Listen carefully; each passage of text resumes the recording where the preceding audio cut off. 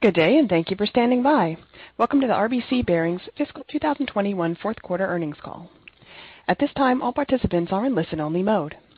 After the speaker's presentation, there will be a question-and-answer session. To ask a question during the session, you will need to press star, then one on your telephone keypad. Please be advised that today's conference may be recorded. If you require any further assistance, please press star, then zero to reach an operator. I'd now like to hand the conference over to your host today, Mr. Will Stack with Alpha IR. Please go ahead. Good morning, and thank you for joining us for RBC Bearings Fiscal 2021 Fourth Quarter Earnings Conference Call. With me on the call today are Dr. Michael J. Hartnett, Chairman, President, and Chief Executive Officer, Daniel A. Bergeron, Director, Vice President, and Chief Operating Officer, and Robert Sullivan, Vice President and Chief Financial Officer. Before beginning today's call, let me remind you that some of the statements made today will be forward-looking and are made under the Private Securities Litigation Reform Act of 1995. Actual results may differ materially from those projected or implied due to a variety of factors. We refer you to RBC Bearings' recent filings with the SEC for a more detailed discussion of the risks that could impact the company's future operating results and financial condition. These factors are also described in greater detail in the press release and on the company's website. In addition, reconciliation between GAAP and non-GAAP financial information is included as part of the release and is available on the company's website. Now, I'll turn the call over to Dr. Hartnett. Uh, thank you, Will. Uh, good morning and welcome. Uh, net sales for the fourth quarter of fiscal 2021 were $160.3 million versus 185.8 million for the same period last year, a decrease of 13.7%. For the fourth quarter of 2021, sales of industrial products represented 47% of our net sales, with aerospace products at 53%. Gross margin for the quarter was 62.5 million, or 39% of net sales. This compares to 76.6 million, or 41.2% for the same period last year. Operating income was $29.7 million, 18.6% of net sales, compared to last year's 43.5 million, or 23.4%, respectively. Adjusted EBITDA was $45.9 million, 28.6% of net sales, compared to $56.3 million and 30.3% of net sales for the same period last year. We ended the quarter with 241.3 million of cash and securities and 16.1 million of debt. Year-to-date free cash flow was a record $140.7 million. We entered the fourth quarter and saw a substantial strengthening of our industrial sector. All markets participated: industrial distribution, mining, machine tool, rail, semiconductor machinery, marine, and wind. We also saw a substantial increase quoting and contract activity from the aerospace sector. Sales of industrial products were up 12.9% from last year, led by OEM, which was up 15.1%. Sequential quarter comparisons show industrials were up by 16.8%, led by distribution at 21.3%.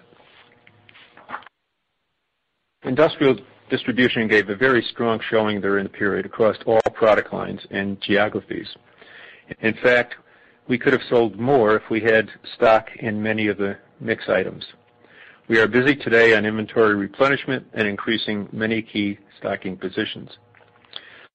Marine, the build-out of the Virginia and uh, Columbia submarine fleets continue.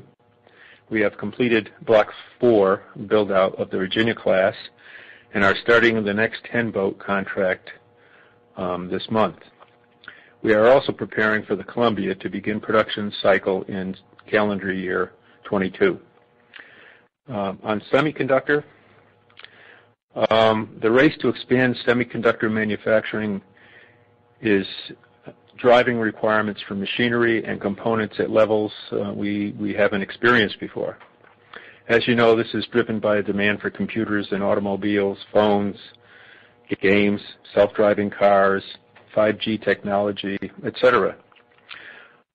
Over the past 20 years, we have diligently built out very strong positions with the machine builders and achieved considerable design excellence, manufacturing scale, and reputation in these markets. We are now realizing the benefits of all these efforts. Turning to Aerospace and Defense, the fourth quarter fiscal 2021 net sales were down 28.6% on a quarter-over-quarter basis, but up sequentially 4.5%. Boeing is slowly increasing demand for product for the 737 MAX suppliers as they consume their excess inventory positions. We are pleased to see the turnaround in consumption here and expect each quarter to be better than the last going forward. We are planning to support a 140-150 plane build-out this year, moving to 350-400 737 um, MAXes next year. Given the new rules for vaccinated travelers to Europe, we expect to see an improved outlook for the 777 and the 787 ships and their build rates by the end of the summer or sooner. We are currently supporting audits of our production capacities by both Boeing and Airbus personnel as they lay plans to build to increase their production rates. Airbus, uh, currently at 40 to 42 A320 series per month, uh, is targeted to their well-known goal of 60 ships per month. As reported earlier, the plan is to build 800 total ships of all designs in 2022. Um, space. Moving to space, as the claim, uh, space is the uh, new aerospace. We are active with many uh, of the daily headline names supplying components as diverse as bearings for rocket engines, fins for directional control, structures for landing gear, actuation devices, low-friction cryogenic components. The pace is always fast and the development path normally uncertain, but we like where this is going and doing whatever we can so that we're not the bottleneck on the process of uh, landing a man on Mars. This can develop into a significant business scale for RBC if the plans of the significant entrepreneurs are realized over the next few years. More of this on future calls. And finally, defense. Um, we certainly have a dream portfolio in terms of platform composition and outlook and expect continuous strength from this sector for many years. Uh, regarding our fourth quarter, we are expecting sales to be between $154 million and $158 million. It's a little bit hard to predict these numbers today, and I'm sure that we'll be talking about that more later in the call, so I'll defer to that discussion. And I'll now turn the call over to Dan and Rob for more detail on the financial performance. Thank you, Mike. Since Mike has already covered net sales and gross margin, I'll jump down to SG&A. SG&A for the fourth quarter of fiscal 2021 was 27.4 million, compared to 31.0 million for the same period last year. The decrease was mainly due to lower personnel costs of $3.4 million and $0.5 million of other items, offset by 0.3 million of higher share-based compensation costs.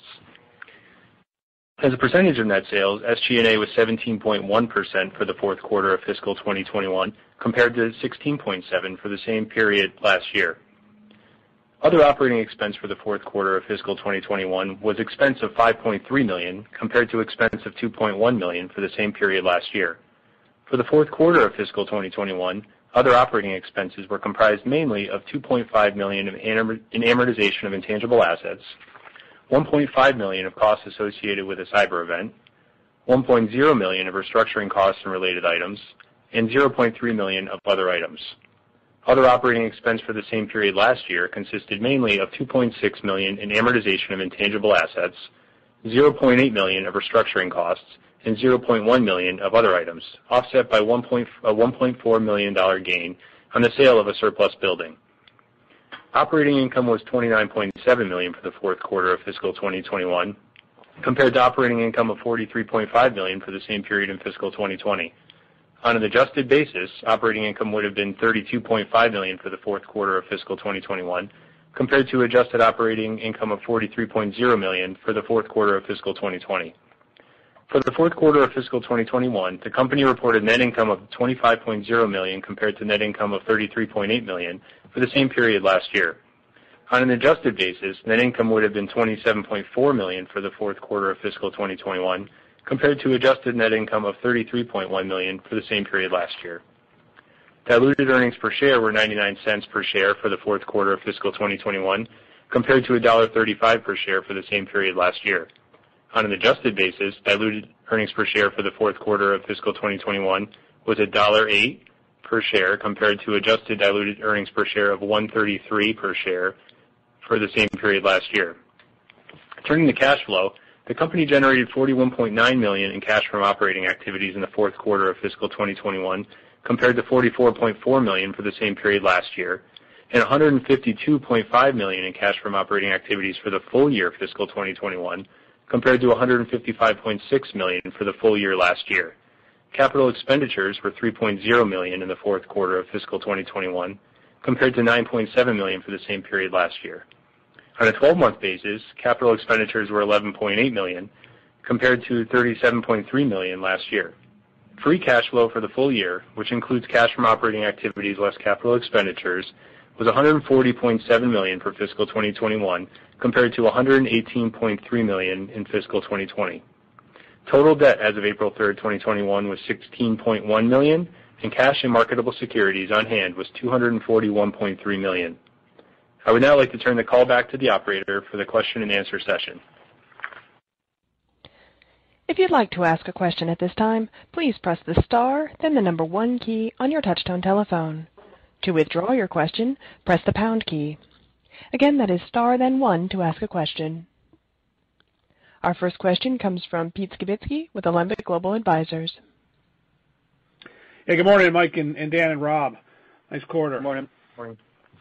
Hey, guys, can we talk about uh, the press release uh, talked about a charge related to a cyber incident. Uh, you quantified it in the release. Can we talk about that, kind of what happened and if it's you know, fully resolved now? Yeah.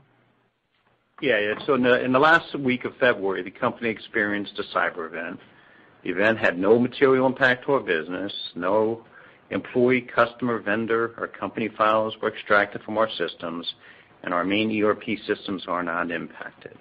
We hired two independent forensic specialists to review the cyber event and assist in the remediation. We incurred about 1.5 million in costs associated with the remediation. And when our 10-K comes out today, you can read more about the certain risks and uncertainties as a result of any security incident, as described in the 10-K under the section entitled Risk Factors.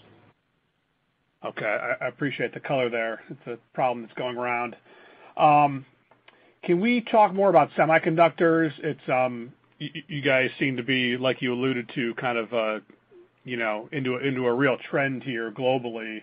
Um, can you maybe outline for us kind of how big was it for you as a sub-niche in fiscal 2021 and maybe the level of growth that you think is reasonable in fiscal 2022?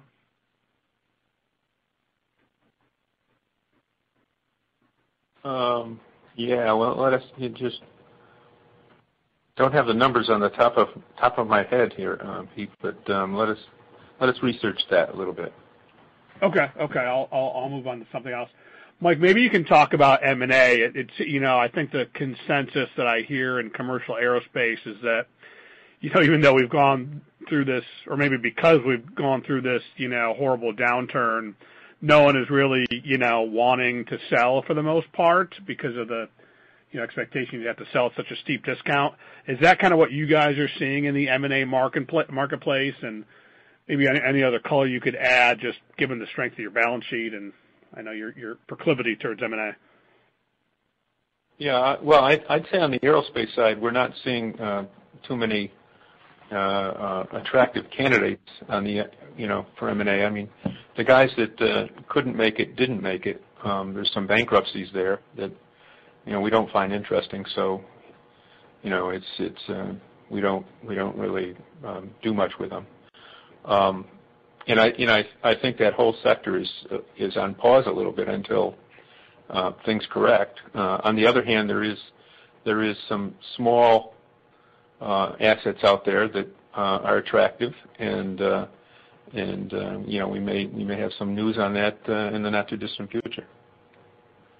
Okay. Fair enough. I appreciate the color. I'll get to the end of the queue, let someone else talk. Thanks. Okay. Our next question comes from Michael Ciarmoli with Truist Securities. Hey, good morning, gentlemen. Uh, nice results.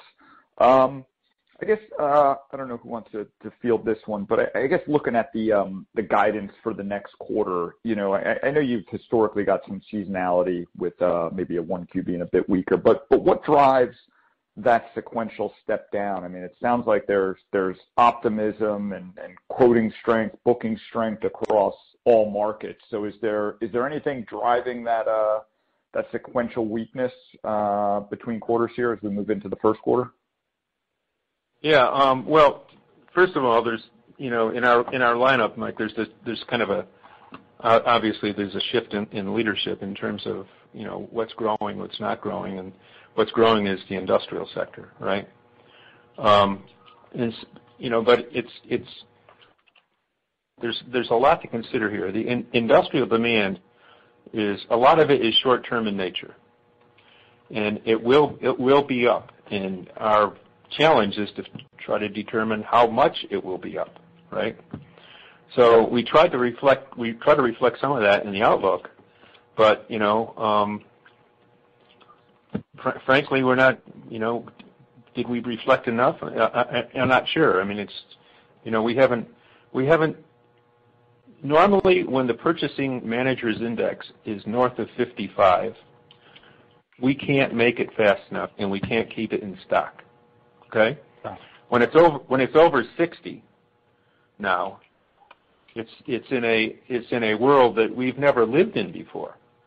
So it's you know, it's sort of uh it's sort of off the edge of the of the map. And uh so it's hard for us to predict exactly you know, um what what our what the upside of our sales are going to be on the industrial side. And and and the problem that it with that is, you know, we had so much demand in the fourth quarter that a lot of our key inventories for you know, key mix items were depleted. You know, we're we're we're rushing to replenish those stocks. It. There's there's a lead time there's a lead time there. And uh you know and uh so we have to add you know materials and labor. Right now, materials are a bit constrained. You know, we have are having trouble getting steel. We are having trouble getting some of our um some of the product that we import um through the ports. And uh and we're competing with with our own government on labor. you know. Yep. Holy cow.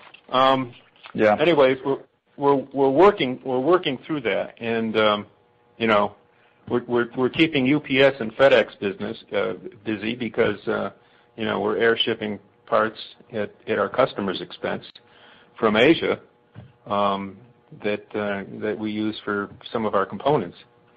So it's an interesting time. Uh you know, I think on the aerospace side, its primary factor here is the Boeing ramp. And uh you know with the abrupt cease in 737 MAX production in March of 2020, there was just a lot of componentry that was you know, left in the system. So they're working through that overhang now, and I expect quarter to quarter it'll be better. Um and I expect by the end of the year, the calendar year, you know, we'll probably be through it. And I think next year at this time, our capacity is going to be taxed with demand. And uh so right now, we're trying to think through how do we position ourselves uh, uh, mix-wise so that you know our capacity and the demand curve intersect in the right place at the right time. And uh so that's that's really the calculus. Got it. There's there's lots of lumps in the pudding right now on the logistics side. And it's not just for us. I think it's just for the whole U.S. Um, as we try to you know, walk through these issues. So I expect this is just the normal exit of an, of a pandemic. Uh, I hope to never experience it again. I think I think we could all uh, in agreement on that. So it sounds like, I mean aerospace, though, you think, I mean and based on on what you're building towards, I mean it's we'll probably see these continued gradual uh, sequential improvements, and then, like you said, industrial is going to be the big swing factor. What what about on the pricing side? I mean, are you um you talked about you know, some some expedited shipping. Are you able to pass off and pass through a lot of these price increases, and how's that that impacting you know, sort of your current contracts? Are there any any markets that might be more exposed or less exposed to pass through? You know, I know aero is usually a full pass-through, but anything on the pricing side that's kind of raising the yellow flag that you're seeing? Well, you know, it's the devil's in the details here. You know. I mean you can these expenses on expedited freight and expedited materials and all that sort of thing can just um you know pass through the night and surprise you. So, you know, we have we help filters up to make sure that we have early warning indications of any excursions that we need to deal with right away. And so we deal with them right away. Either either we have in our contracts a pass-through on material costs, or we explain to our customers in order in there's these extraordinary uh, expenses to um, service your account, and uh, and um, we sometimes have we sometimes share those expenses. We sometimes pass them along 100%, and sometimes we don't. And uh, it depends. It's very um, situationally dependent.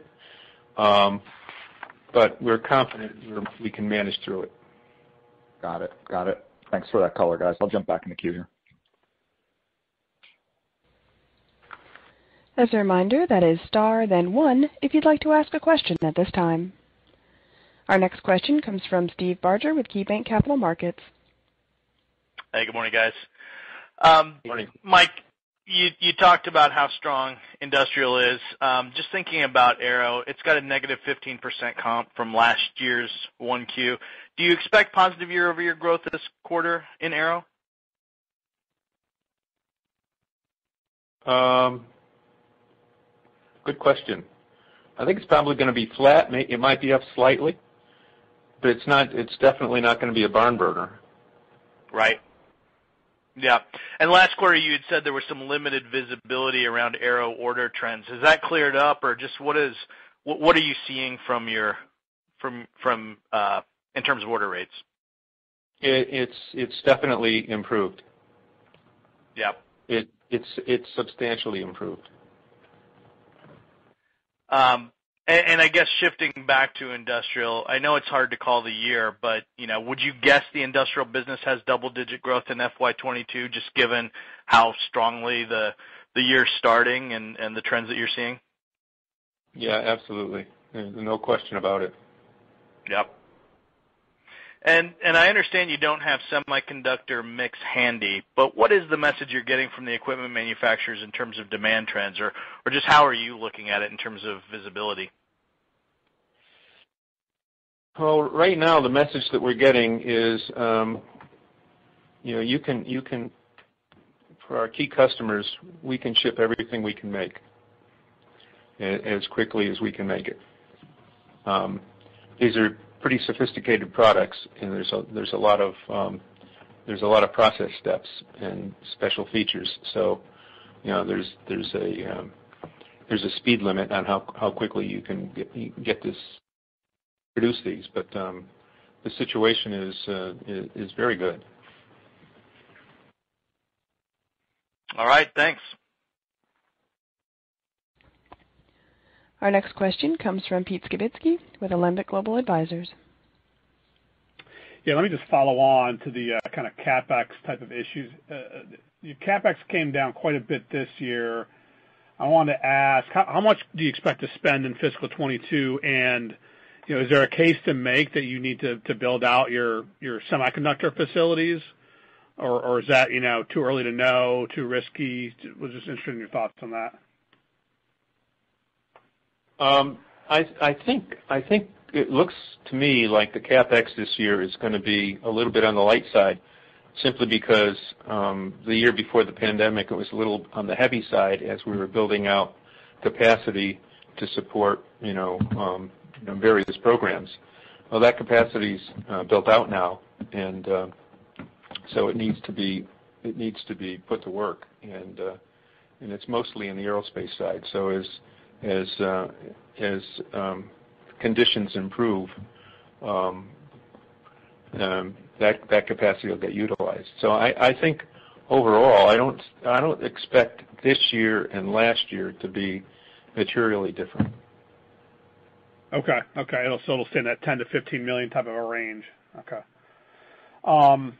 Uh, Mike, thinking about margins, that you know, you sustain them at a pretty nice level. They only came in two points in this in this crazy year of fiscal 2021. How fast are you guys thinking they come back? Is you know, I think you've talked about maybe a half a point adjusted operating margin improvement each year, or with the sharp increase in volumes, are you thinking maybe a full point or more in fiscal 2022? What's the right way to think about that? Well, it's going to be hard to um, Again, it's you know, it's there's a lot of moving parts here. Uh, we should do very well. I mean, we're going to have increased volume over a reduced cost structure. That alone is going to be very helpful, right? Um and you know, we got to keep an eye on the inflationary pressures because um, those are going to be real, and we have to make adjustments in pricing or surcharges or however we want to manage those accordingly. So that that's all in our wheelhouse to manage. And uh and so um we just we just need to be on top of that game. So um overall, I expect at the gross margin level, to be the margins to do very well. Now, at the operating income level, I think we're going to have to front-load some SG&A expense to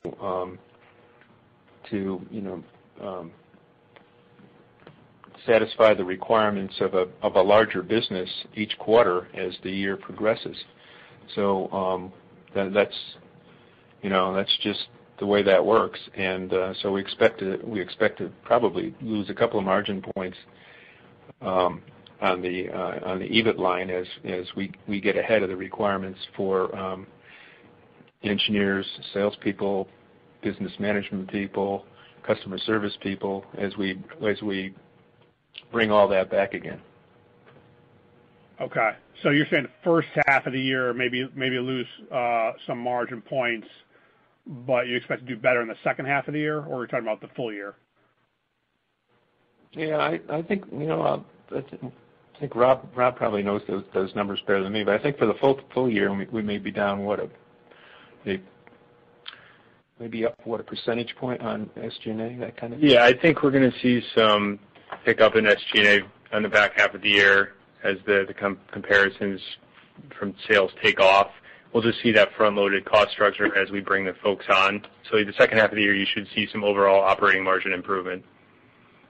Okay. Okay. Okay, we'll watch that. Um and then just last two for me on the defense side. On submarines, it sounds like maybe right now on Columbia, there's not a ton of activity on the Columbia right now because you mentioned, uh I think the year after, maybe calendar 2022 is when the production starts for you guys. So are you thinking maybe fiscal 2022, you'll have maybe a little bit of a you know, kind of a bathtub on on submarine revenue? Or is overall activity you know, within the subs just so strong that it's kind of continued up and to the right? Uh, Pete, this is Dan. This year, we we finished that uh, up uh, in the quarter up 40% on marine. Um and I think going into next year, we will be starting to ship some, or at least working on hardware for the Columbia in this fiscal year. And so we're expecting another 10% growth rate for us on the marine side. Okay. Yeah, we ended this year around $40 million. Okay. Okay. And is there any I know you guys have a lot of content on the F-35. Um, as we go out two or three years, I think that production profile starts to flatten a bit.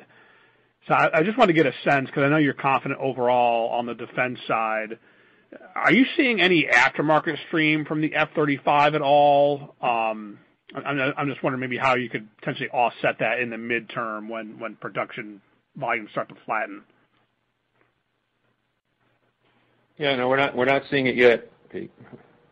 Okay. Okay. Okay, fair enough. Okay. Um so just overall, Mike, your confidence on the defense side is just kind of new business wins, that sort of a thing? Yeah, there's a lot there's a lot going on in the defense side. There's there's platforms beyond the F-35 that you know we that we can we can talk about. Um in and you know, and and then there's frankly, there's some that we shouldn't talk about. And um yeah.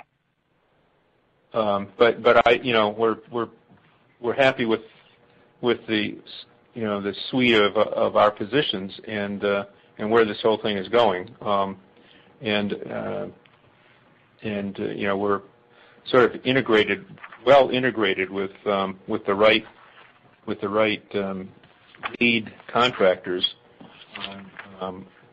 on all of these programs. Uh you know it's and we have we have important positions and expanding positions on all of these programs. Yep. Okay. That's great. Thanks very much, guys. Our next question comes from Michael Ciarmoli with Truist Securities. Hey, guys. Thanks for uh, taking the follow-up. Um, maybe just on aerospace, specifically in the uh, the aftermarket and distribution, you know, what are you guys seeing there? We continue to hear optimism from suppliers that as we see more uh more cycles, you know, we're going to start to see that that airline uh spending kick in. But you know, are are you seeing any sort of restocking yet? Maybe any color that you could provide from from uh product at the distributor channel, and are you seeing more pull-through there? I would think that that's going to recover and snap back much quicker than the uh the OE production side. But any, any color on that? Yeah. Well, it you know, we the aerospace distribution channel has been, let's say, interesting. There's been a lot of changes in management and uh not changes in ownership. And so uh, you know, we've, and I think that's sort of interrupted their their momentum in previous years. But I you know th that is all coalescing again, and and we're seeing sort of um, um, we're seeing a year ahead that looks looks like it will be up substantially, double digits in aerospace distribution.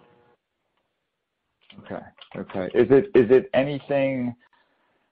more tied to engine shop visit? Is it you know, some of the component accessory repair that we should be looking out for? I mean, where are the bulk of your kind of products going into? Is it more on the airframe side, I guess, engine side?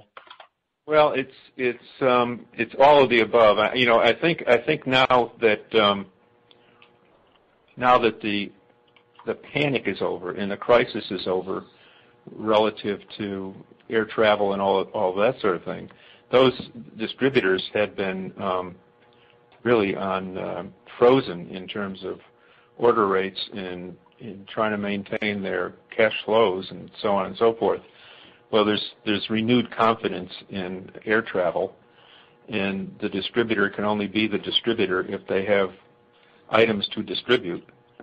And uh, and so they are building back their inventories um, as we speak. And uh, and so that's uh that's we're seeing that as a pickup in our business, and that'll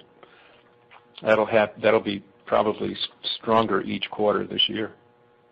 Got it. Got it. Uh, last one for me. I think you mentioned some positive comments about wide bodies and you know, maybe seeing, I guess, better demand pull and build rates by the end of the summer. It seems you know, it seems like there's still a lot of uncertainty there, But, you know, and I think you called out the 777, but broadly, are you seeing any leading indicators on the wide bodies, the 787, the A350, your other significant platforms?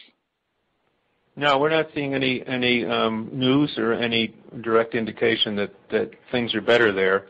Um, the fact that Europe is opening up and desperately needs you know, Americans to travel there and spend their dollars is uh, is uh, an important aspect of that. And the fact that Americans want to go to Europe and spend their dollars is an important aspect of that. So I think I think that air travel for those ships is going to be um gonna rebound uh, more quickly than anybody expected.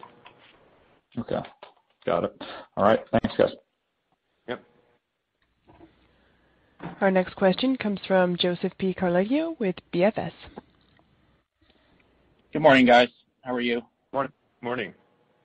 You had mentioned um, inflationary pressures across the business, obviously, uh, specifically higher steel costs, but also some labor cost pressures. I'm just curious about how far RBC is along in terms of automating its factories, um, in terms of robotics, et cetera, in order to offset some of those labor pressures. Well, I mean, we're we're pretty advanced in terms of uh, uh, factory automation. Um, you know, a lot of our a lot of our products, because of the nature of who we service, um, the lot sizes are small, so it requires a little bit different um, automation concept than not. And uh and so it's it's taken us years to determine you know the right strategies and the improvement in manufacturing technology for robots and machine tools and the integration between robots and machine tools and how that all works has gotten so much better. The courses in mechanical engineering at the universities that have focused on um, improving the credentials for engineers in control engineering has been has been valuable to us. And so, uh, you know, over the past uh, half dozen years, we've been able to take all of that and make you know large improvements and gains in our plants. Great. Thank you. And then just my second question was just on um, the restructuring and consolidation uh, costs in the quarter. I think you had a gain on sale of a surplus building. Just any commentary maybe around um, further opportunities to consolidate the manufacturing base or maybe factory count at quarter end and how that's trended versus uh, pre-pandemic? Thanks. Yeah. The gain was from last year. That's a building we sold down in Texas last year on a comparison purpose. Some of the negative restructuring we had in the fourth quarter was just finalizing the moves that we were making on the West Coast with some of our small plants that we talked about in Q2 and Q3, where we combined two plants together, and we combined one plant from a two-building scenario to a one-building scenario. Um so right now, there's no major consolidation planned, but we're always looking at ways to become a little more efficient with our real estate and our manufacturing facilities. Thanks. Appreciate it.